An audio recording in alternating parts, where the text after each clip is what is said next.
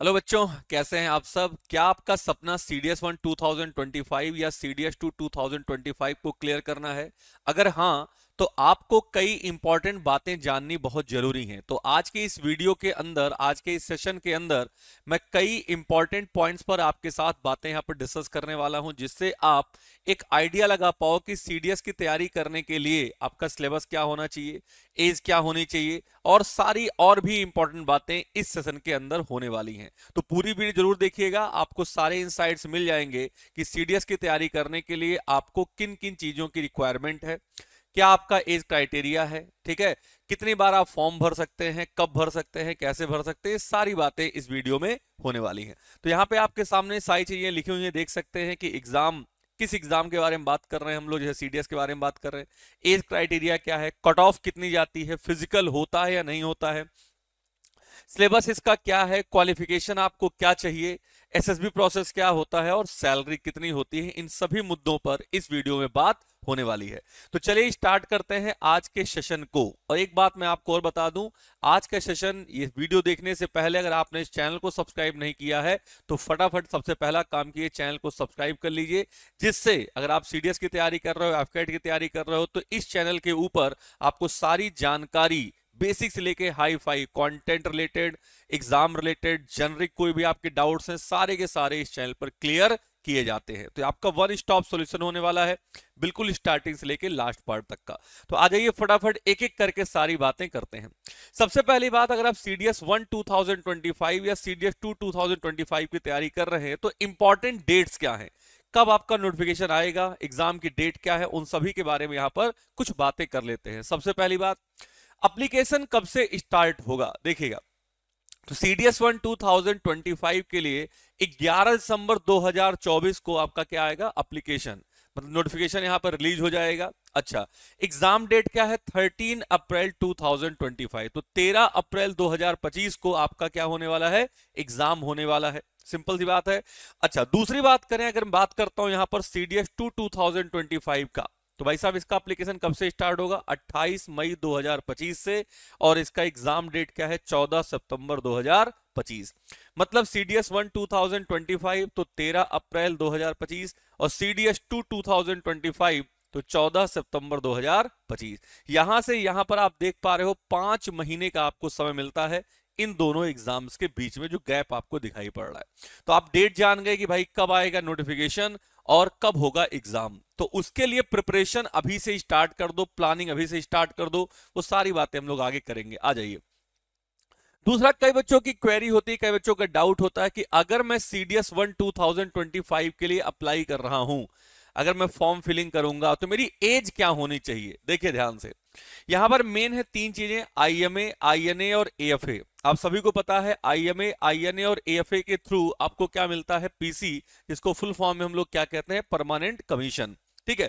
दूसरा, अगर आप ओटीए के थ्रू जाते हैं तो आपको मिलता है शॉर्ट सर्विस कमीशन ठीक है? आ जाइए। एज क्या क्या होनी चाहिए? सो 19 टू 24 इयर्स अगर आप आई में अप्लाई करना चाह रहे हैं। डेट आप देख सकते हो, ज़्यादा स्पेसिफिक अगर आप इस रेंज में है तो आराम से उस फॉर्म को फिल कर पाओगे। मैं बात कर रहा हूँ सीडीएस वन टू के लिए। अगर आपकी डेट ऑफ़ बर्थ इसके बीच में लाई करती है इंक्लूडिंग दीज डेट्स ठीक है? सेकेंड जनवरी 2002 से लेकर फ़र्स्ट जनवरी 2007 अगर इसके बीच में आपकी क्या है एज है तो आप क्या कर सकते हो? आईएमए के लिए फॉर्म फिल कर सकते हो।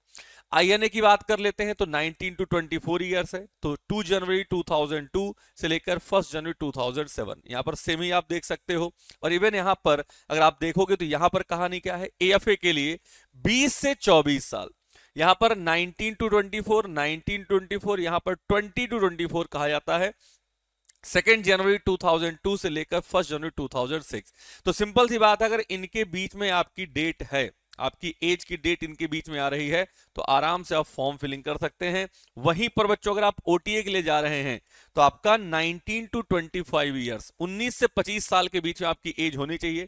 डेट आप देख सकते हो सेकेंड जनवरी 2001 से लेकर फ़र्स्ट जनवरी 2007 सिंपल सी बात है, इनके बीच में अगर आपका एज आपकी जो डेट ऑफ़ बर्थ है, वो लाई कर रही है तो आराम से आप फॉर्म फिलिंग को कर सकते हो। कई बच्चों को क्वेरी रहती है कि, सर डेट क्या है, किसके अंदर हम फिल कर सकते हैं तो यहाँ से आप इस बात को एकदम क्लियरली मेंशन किया गया है, कोई टेंशन आपको होना ही नहीं है। तो इस वीडियो में हम लोग क्या कर रहे हैं, एकदम एग्जैक्ट बातें कर रहे हैं, जिससे आपके डाउट्स कोई आए ही ना। फिर भी अगर आपको कोई डाउट आता है तो कमेंट बॉक्स में बाद में लिख दीजिएगा, उसका रिप्लाई हम लोग आपको कर देंगे। कोई भी डाउट अगर आपको आता है तो आ जाइए।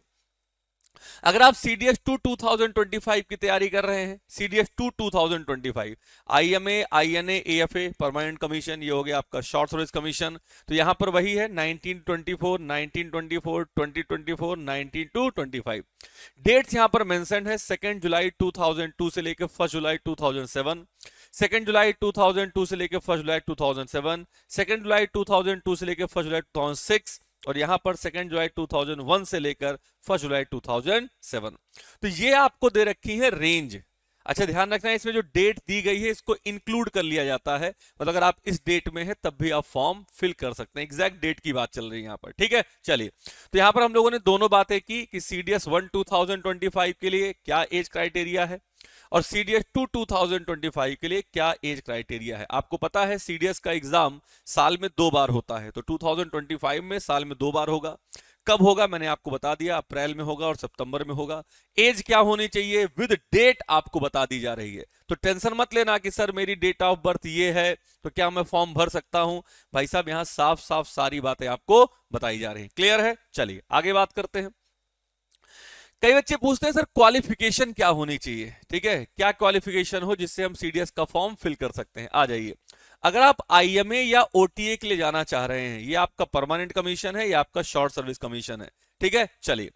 दोनों के लिए bachelor degree in any stream किसी भी स्ट्रीम में अगर आपकी बैचलर डिग्री है तो आराम से आप आईएमए और ओटी के लिए फॉर्म भर सकते हैं। अगर आप आईएनए के लिए जाना चाहते हैं नेवल एकेडमी के लिए बच्चों so bachelor degree in engineering ध्यान रखना, यहाँ पर बैचलर डिग्री किसमें चाहिए? इंजीनियरिंग में। आपने बीई की हुई हो, आपने बीटेक किया हुआ हो तो आराम से आप आईएनए के लिए फॉर्म भर सकते हो। बात समझ गए? चलिए।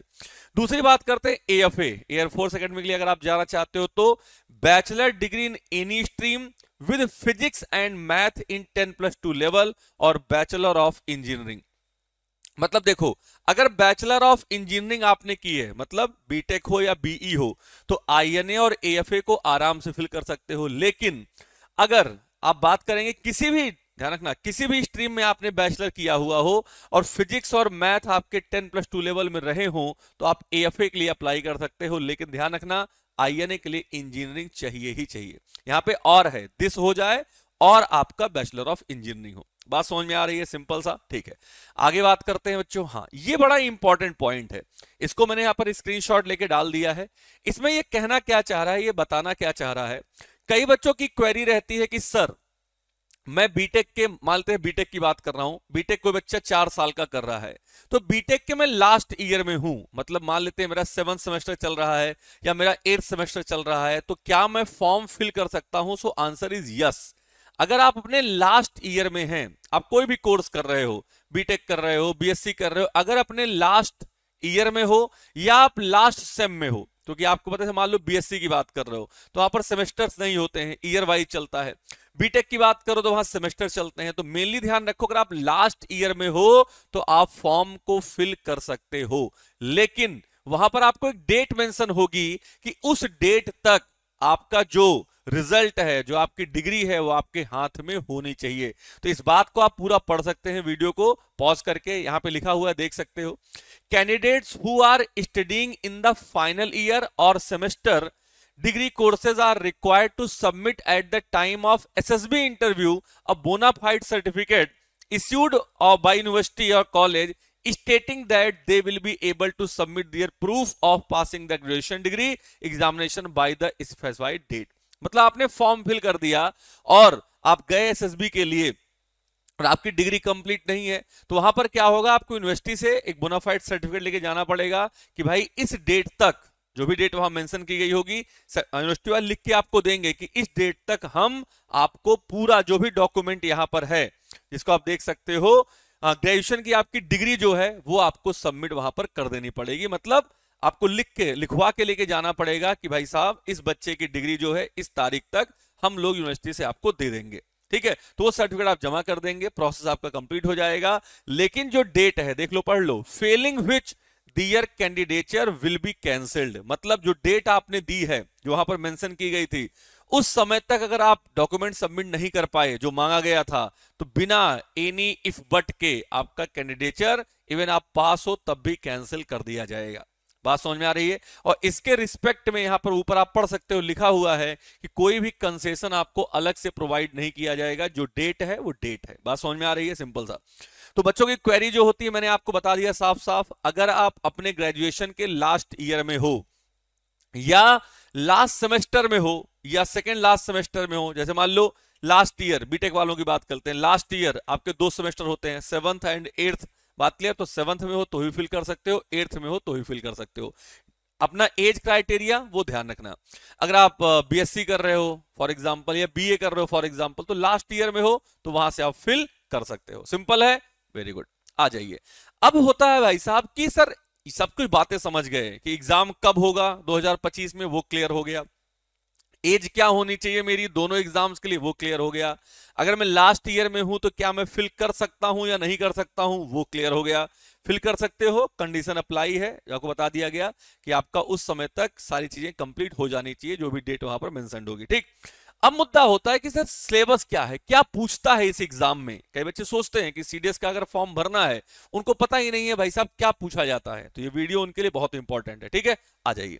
देखिए अगर आप बात कर रहे हो आईएमए आईएनए एएफए मतलब सीडीएस के थ्रू अगर आप परमानेंट कमीशन की बात कर रहे हो पीसी आपको चाहिए परमानेंट कमीशन जो आईएमए आईएनए और एएफए के थ्रू आपको मिलता है तो आपको तीन सब्जेक्ट का पेपर देना पड़ेगा बच्चों, और तीनों पेपर एक ही दिन में होते हैं। तीनों पेपर एक ही दिन में होते हैं। टाइम क्या होता है? नौ से ग्यारह, बारह से दो और तीन से पाँच। मतलब सेम डे आप लगातार पेपर दे रहे होते हो। बात समझ गए?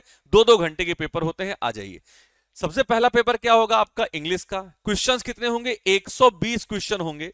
हर क्वेश्चन कितने नंबर का होगा? पॉइंट एट थ्री जिससे आपका मैक्सिमम मार्क्स कितना बनेगा? हंड्रेड पेपर कितने का? दो घंटे का। तो आप देख सकते हो, दो घंटे दो घंटे दो घंटे। नौ से ग्यारह, बारह से दो, तीन से पाँच। ये तीन पेपर सेम डे आपको देने पड़ेंगे। जनरली एग्ज़ाम संडे को ही होता है बच्चों, ठीक? अच्छा। जनरल नॉलेज में भी आपके 120 क्वेश्चन होते हैं। मतलब इंग्लिश का पेपर 120 क्वेश्चन, जनरल नॉलेज का पेपर 120 क्वेश्चन। कितने नंबर का? 100 100 नंबर का होता है। हर क्वेश्चन पॉइंट नंबर का होता है। क्या निगेटिव मार्किंग होती है? बिल्कुल होती है। वन बाई थर्ड पार्ट की निगेटिव मार्किंग आपको मिलती है तो ध्यान से गोले वोले भरना, ठीक? अब बात करते हैं मैथ्स की। तो मैथ्स में भाई साहब 100 क्वेश्चन आते हैं। ध्यान रखना 120 नहीं आते 100 ही क्वेश्चन आते हैं। हर क्वेश्चन एक नंबर का होता है तो 100 मार्क्स की यहाँ पर तैयारी हो गई। अच्छा ध्यान सुनना, कई बच्चे सोचते हैं कि सर मैथ्स हमारी बहुत कमज़ोर है। ठीक है, ध्यान रखो, अगर मैथ्स कमज़ोर है तो परमानेंट कमीशन का जो सपना है, वो तो छोड़ दो। आपको उससे कैसी बात कर रहे हो? चाहिए तो परमानेंट कमीशन। अगर परमानेंट कमीशन चाहिए तो भाई साहब मैथ्स का पेपर देना ही पड़ेगा।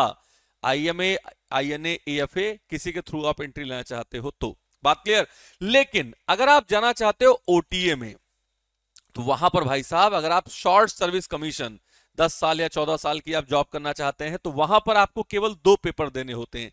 एक इंग्लिश का बच्चों और एक जीके का। यहाँ पर आप मैथ्स वाले पेपर से बच जाते हैं। मैंने आपको टाइम बताया सुबह नौ से ग्यारह हो गया इंग्लिश का, बारह से दो आपका हो गया जीएस का, उसके बाद आप अपने घर जा सकते हो। शाम को तीन से पाँच वाला पेपर आपको नहीं देना है। किसके लिए? ओटीए के लिए। अच्छा एक बात और। गर्ल्स ठीक है? केवल ओटीए का फॉर्म ही भर सकते हैं, इस बात का ध्यान रखना। मतलब गर्ल्स के लिए आईएमए आईएनए और एएफए में अभी एंट्री नहीं है। ओटीए के थ्रू आप जा सकते हैं। शॉर्ट सर्विस कमीशन के लिए। उसके बारे में भी आगे बात करेंगे। मतलब गर्ल्स अगर फॉर्म भरना चाह रही हैं तो वो इंग्लिश और जीके का पेपर देकर ओटीए के थ्रू एंट्री वहाँ पर ले सकते हैं बच्चों ठीक है? पैटर्न वही है सेम देख सकते हो आप, जो यहाँ पर था। 120 120 क्वेश्चन, वही कहानी यहाँ पर भी है। तो डिक्टो चीज़ें हैं, और अलग से पेपर नहीं होता। कई बच्चों को यह भी डाउट होता है कि, सर, ओटीए का पेपर क्या अलग से होगा? नहीं। Same day same centre paper चल रहा होता है। सुबह नौ से ग्यारह सबने पेपर दिया, बारह से दो सबने पेपर दे दिया। अब जिसको आईएमए, आईएनए, एएफए मतलब परमानेंट कमीशन चाहिए, वो शाम को तीन से पाँच मैथ वाला पेपर भी देगा। जिसको नहीं चाहिए, वो अपने घर जा सकता है दो बजे। ठीक है? बात समझ में आ रही है? तो अलग से पेपर नहीं होगा, इसमें भी निगेटिव मार्किंग होती ही होती है। अब बात होती है कि सर सिलेबस क्या है? देखो ध्यान से। जीके या जीएस, जिसकी आप बात करना चाहते हो, पूरा सिलेबस है। जो यूपीएससी आईएएस का सिलेबस होता है बच्चों सेम सिलेबस यहाँ पर है। मतलब history polity geography economics current affairs defence G K देख सकते हो आप सारा का सारा। फिजिक्स केमिस्ट्री बायो सब कुछ आपका, सब कुछ आपको पढ़ना है। ठीक है, सबसे पहली बात हो गई पूरा। देख सकते हो हिस्ट्री वो भी एंशियंट मेडिवल, मॉडर्न तीनों हिस्ट्री आपको पढ़नी है, ज्योग्राफी पूरी पढ़नी है, इंडियन इकोनॉमिक्स पढ़नी है, इंडियन पॉलिटी पढ़नी है, बायोलॉजी, फिजिक्स, केमिस्ट्री पढ़नी है, करंट अफेयर्स पढ़ना है, डिफेंस जी के। ये सारी चीज़ें पढ़नी है। कितने क्वेश्चन आएँगे? 120 क्वेश्चन पूछे जाते हैं, ठीक? इंग्लिश में क्या क्या पूछा जाता है? Antonyms, synonyms, sentence improvement, comprehension पूछा जाएगा, word substitution, ordering of sentences spotting errors, selecting words, sentence arrangement cloze test और रीडिंग कॉम्प्रिहेंशन, ये क्या हो गया सिलेबस। अब बात करते हैं बच्चों, मैथ्स में क्या क्या पूछा जाएगा, ठीक है? आ जाइए फटाफट। तो मैथ्स में पूरा अर्थमेटिक और पूरा एडवांस आपसे पूछा जाएगा इंक्लूडिंग नंबर सिस्टम बच्चों। इंक्लूडिंग क्या बताओ यहाँ पर? नंबर सिस्टम देख सकते हो यहाँ पर नंबर सिस्टम मेंशनड है। मतलब percentage profit loss average time and work time speed distance interest boats and stream mixture ratio number system statistics and logarithm advance में algebra mensuration 2D mensuration 3D trigonometry, height and distance, geometry, polygons, lines, angles, triangle, circle, quadrilateral. ये पूरा क्या है? ये पूरा आपका maths का syllabus है। कहने के लिए तो बच्चों, जो सिलेबस है, बोला जाता है कि टेंथ तक की मैथ्स पूछी जाती है। बट लेवल ऑफ़ क्वेश्चन जो पूछे जाते हैं, टॉपिक वही है। टेंथ तक का ही टॉपिक है। लेकिन जो क्वेश्चंस का लेवल होता है, वो काफ़ी अच्छे लेवल का आपसे क्वेश्चन पूछा जाता है। उसके लिए आपको तैयारी करनी पड़ती है और बहुत ही बेसिक लेवल से लेकर हाई लेवल तक आपको पूरा पढ़ना पड़ता है। बात समझ में आ रही है? चलिए। अच्छा कई बच्चे ये भी पूछते हैं कि, सर, अगर मैं तैयारी कर रहा हूँ सीडीएस का, ठीक है? तो एक बात बताइए, पेपर, तीनों पेपर आपने देखे हैं? आप इतने साल से पढ़ा रहे हो। अगर आपने तीनों पेपर देखे हो, इतने सालों से आपने एनालाइज किया हुआ है तो बताइए किस पेपर में स्कोर करना सबसे आसान है और किस पेपर में स्कोर करना सबसे हार्ड है? तो मैं आपको बताता हूँ बच्चों, इसका increasing order level of difficulty का इंक्रीजिंग ऑर्डर क्या है? सबसे पहली बात, सबसे आसान पेपर किसका आता है? इंग्लिश का। तो अगर आपकी इंग्लिश अच्छी है तो समझ लो आप थोड़ा कंफर्ट जोन में हो कि इंग्लिश में आप अच्छा स्कोर कर सकते हो, क्योंकि पेपर कभी बहुत ज़्यादा हार्ड नहीं आता इंग्लिश का।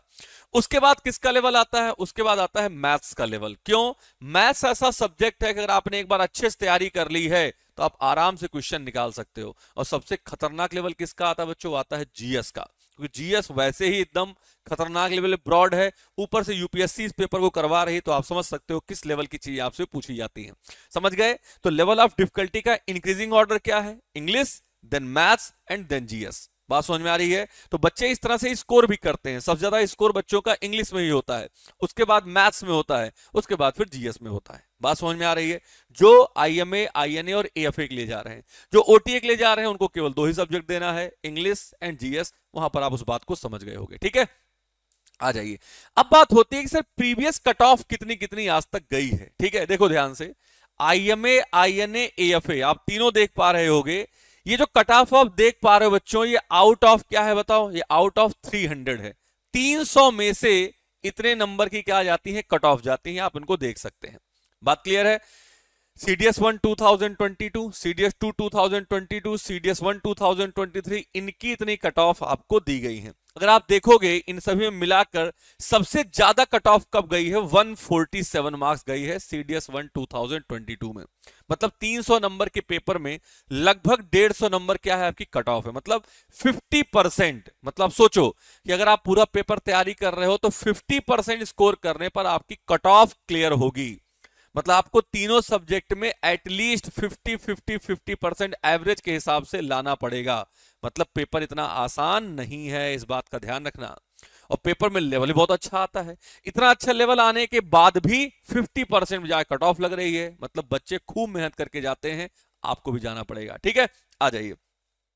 अब बात करते हैं बच्चों यहाँ पर OTA men OTA women cut off कितनी आती है? अच्छा ये जो कट ऑफ़ आप देख पा रहे हो, ये मैं सोचना बहुत कम है। ये आउट ऑफ़ 200 है, क्योंकि मैथ्स पेपर देना नहीं है आपको। सो आउट ऑफ़ 200 देख सकते हो, हर बार कट ऑफ़ सौ अट्ठानबे एक मतलब वही 50 परसेंट तो चाहे आप यहाँ परमानेंट कमीशन की बात कर लो, शॉर्ट सर्विस कमीशन की बात कर लो 50 परसेंट कट ऑफ़ आप मान के चलो। मतलब हर पेपर में अगर एवरेज निकालने बैठ रहे हो तो हर पेपर में 50 परसेंट आपको पाना है। लेकिन बच्चे क्या करते हैं? मेहनत किस पे करते हैं? इंग्लिश पे करते हैं और मैथ्स पे करते हैं। वहाँ पे ज़्यादा स्कोर करते हैं। जीएस में थोड़ा कम भी स्कोर होता है, लेकिन तब भी वो चीज़ों को लेकर आगे बढ़ जाते हैं। लेकिन ध्यान रखना सेक्शनल कट ऑफ़ का भी चक्कर है यहाँ पर। आप ये नहीं कर सकते कि भाई जीएस छोड़ देंगे। मैथ्स और इंग्लिश में खतरनाक स्कोर कर देंगे और पास हो जाएँगे। नहीं नहीं। हर सेक्शन को भी आपको क्लियर करना पड़ेगा। हर सेक्शन को भी आपको क्लियर करना पड़ेगा। बात समझ में आ रही है? चलिए, ट्वेंटी परसेंट आपको हर सेक्शन में करना पड़ता है। ये तो हो गई पूरी रिटर्न की बात। रिटर्न के बाद क्या होता है बच्चों? रिटर्न के बाद होता है आपका एसएसबी बात क्लियर? एसएसबी क्या होता है? फाइव डेज़ का एक प्रोसेस होता है। SSB is as like interview आप समझ लो उसको बट वो नॉर्मल इंटरव्यू नहीं है। पाँच दिन आपको जाकर वहाँ पर पूरा अपना दिखाना पड़ेगा कि आप में कितना दम है। देखिए तो भाई एसएसबी जो प्रोजेक्ट होता है, बच्चों, पाँच दिन का day one day two day three day four day five बात क्लियर चलिए। डे वन पे क्या होता है? ओआईआर टेस्ट होता है और पीपीडीटी ये दो टेस्ट होते हैं डे वन पर। ये क्या होते हैं, कैसे होते हैं, इनके बारे में अलग वीडियो आपको बनाएँगे, बट डे वन पे आपके दो टेस्ट होते हैं। डे टू पे क्या होता है साइकोलॉजी टेस्ट होता है। डे थ्री पे क्या होता है group task one day four पे होता है ग्रुप टास्क टू और डे फाइव का होता है कॉन्फ्रेंस बात क्लियर अगर आप, देखो, दो दिन आप क्या कर सकते हैं, बताओ, वहाँ से बाहर निकाले जा सकते हो। या तो डे वन पे आप निकलोगे, और डे वन पे आप सरवाइव कर गए तो फिर आप डे फाइव पे निकलोगे, बच्चों। बात समझ में आ रही है? डे फाइव पे जो बच्चा बाहर होता है, भगवान न करे कोई हो ठीक है? वैसे बहुत लोग होते हैं। ठीक है बच्चों बट डे फाइव पे अगर आप आउट होते हैं तो आपको लगता है कॉन्फ्रेंस आउट आउट है। ठीक है? चलिए, सबको समझ में आ रहा है? तो फाइव डेज़ का भाई साहब ये क्या हो गया? एसएसबी प्रोसेस मतलब पहले आपने रिटर्न दिया, उसके बाद रिटर्न क्लियर किया कट ऑफ़ क्लियर हुई, उसके बाद आपको एसएसबी के लिए बुलाया जाएगा। पाँच दिन का प्रोसेस होता है, वो प्रोसेस करने के बाद, उसके बाद फिर क्या होता है? उसके बाद फिर भाई साहब आपकी होती है मेडिकल मेडिकल में क्या होता है? आपकी हाइट आपका वेट रनिंग वनिंग सब कुछ चेक की जाएगी मेडिकल के टाइम तो यहाँ आप देख सकते हो बच्चों I M A I N F A इनके लिए आपकी हाइट कितनी होनी चाहिए? देख सकते हो 157.5 157 162.5 एएफए हाइट देख रहे हो जहाँ चाहिए. और ओटीए के लिए कितना? 157.5 अगर आपकी इतनी हाइट है, ध्यान रखना, अगर इतनी हाइट है, तभी इस फॉर्म को फिल करना. अगर इतनी हाइट नहीं है तो फॉर्म फिल करने का फ़ायदा नहीं है। आप रिटर्न निकाल लोगे एसएसबी क्लियर कर लोगे, फिर जाके लास्ट में मेडिकल के टाइम पे छट जाओगे। बात समझ में आ रही है? ठीक है। देखो फीमेल आईएमए आईएनए एएफए के लिए अप्लाई कर ही नहीं सकती। Not applied not applied not किसके लिए कर सकती है? ओटीए के लिए। हाइट कितने चाहिए? 152 यहाँ पर कुछ रिलैक्सेशन भी है। 5 centimetre for Gorkhas and individual belonging to hills of the northern eastern region of India Garhwali और कुमाऊं अगर आप इस स्टेज से, इस रीजन से बिलोंग करते हैं तो 5 सेंटीमीटर का आपके लिए क्या है? एज रिलैक्सेशन है. दो सेंटीमीटर का है किसके लिए? जो बच्चे लक्षद्वीप से हैं, उनके लिए दो सेंटीमीटर का एज रिलैक्सेशन आपको एज सॉरी बच्चों, आपको हाइट का रिलेक्शन मिल सकता है. ठीक है? चलिए. अच्छा वही बात है यहाँ पर फिटनेस की बात। तो फिटनेस कब होता है? वो मेडिकल के टाइम में आपसे चेक कर लेंगे वो सारी बातें। रनिंग पुशअप्स चिनअप्स मतलब समझते हो, यहाँ से लेकर और पूरे फ़िज़िकल जब तक आप खतरनाक लेवल पे नहीं होगे सिलेक्शन आपका नहीं होगा। ठीक है? आपको रिटर्न भी क्लियर करना है मतलब माइंड चेक हो जाएगा। ठीक है? उसके बाद आपका पूरा एस एस बी होगा पाँच दिन का, उसमें चेक हो जाएगा कि आप किस टाइप के हैं, आपके पास ओ एल क्यूज हैं या नहीं। जिनको ओ एल क्यूज नहीं पता हो ऑफिसर लाइक क्वालिटीज वो पाँच दिन के अंदर चेक कर ली जाती हैं। अगर आप उसके अंदर रिलाई कर रहे हो, उसके अंदर आप आ रहे हो तो आपका सिलेक्शन होगा, वरना फिर नहीं होता है।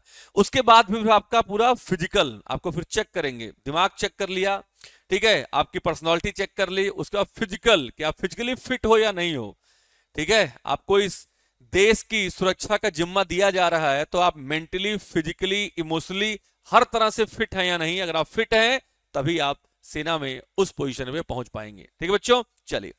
अब बात होती है सैलरी स्ट्रक्चर क्या है? तो मैं इस पर ज़्यादा नहीं जाता हूँ, आप सभी को अच्छे पता है।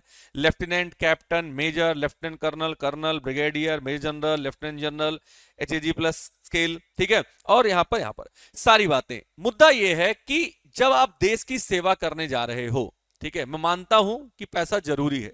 रहने के लिए चीज़ों को सेट करने के लिए पैसा ज़रूरी है और उतना पैसा भारत सरकार आपको देगी। बट मेरा यह मानना है कि अगर आप ऑफिसर बनने जा रहे हो तो आपका एक ड्रीम है ठीक है? वो पैसे के लिए नहीं फॉलो होता मेरा ऐसा पर्सनली मानना है। मुद्दा यह है कि आप देश के लिए जीने मरने की ठीक है? वो ललक जो होती है वो जज्बा जो होता है अगर आपके अंदर है तभी आप डिफेंस फोर्सेज में जाएँगे और तभी आपको रिक्रूट भी किया जाएगा। सो so, ठीक है, पैसा ज़रूरी है और उतना पैसा दिया जाता है कि आप अच्छी लाइफ स्टाइल वहाँ पर रह, रख पाइए, संभल पाइए, ठीक है? लेकिन पैसा मैं बार बार मानता हूँ कि सबसे पहले देश की सुरक्षा का सवाल जब है तो वहाँ पर जज्बे वाले लोग होने चाहिए कि उनके लिए वो प्रायोरिटी होती है और हमेशा से उनके लिए वही प्रायोरिटी रही है। These things are secondary things फिर भी आप देख सकते हो, यहाँ पे सारी बातें लिखी हुई हैं कि सैलरी कितनी होती है पे लेवल क्या होता है, ठीक है बच्चों? और आप किस पे स्केल के अंदर लाई करते हैं। ठीक है? चलिए, आगे बात करते हैं। हाँ आगे क्या बात करनी है? देखिए ध्यान से। अब यहाँ पे मुद्दा आता है कि सर आपने सारी बातें बता दी। सारी बातें आपने बता दी, लेकिन इसकी तैयारी अगर करनी है तो हमें क्या करना पड़ेगा? देखिए, अगर आपको तैयारी करनी है और आप ये चाहते हैं कि आप मुझसे और मेरी पूरी टीम से, जो कि सेगमेंट के अंदर सबसे अच्छी टीम मानी जाती है बच्चों, अगर आप उनसे पढ़ना चाहते हैं तो सिंपल सा स्टेप है। क्या करना है? जाना है प्ले स्टोर पर सर्च करना है टैप टू क्रैक। टैप करो, एग्ज़ाम क्रैक करो।